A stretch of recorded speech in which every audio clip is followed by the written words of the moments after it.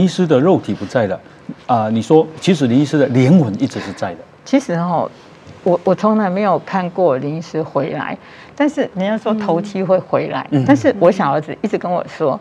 他那个头七的时候，他有看到爸爸从门，就是从客厅的门进来，然后走到我们房间，然后就不见了。嗯然后呢，我其实自己从来没有看到过，那是晚上吗？